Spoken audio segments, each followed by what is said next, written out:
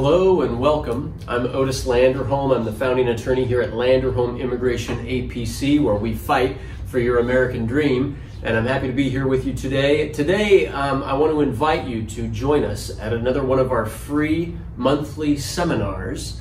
And uh, you can come uh, either in person here in our office or you can just join us online uh, on Facebook Live or on YouTube.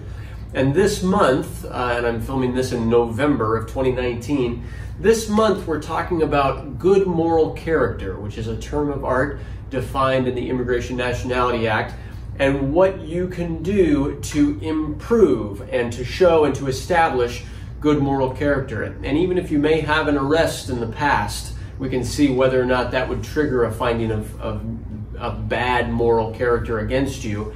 Um, and if so, okay, uh, what can we do to fix it? And, and what is the solution to, to increase your odds of winning citizenship or winning cancellation of removal or some of the other immigration applications that have a requirement of good moral character?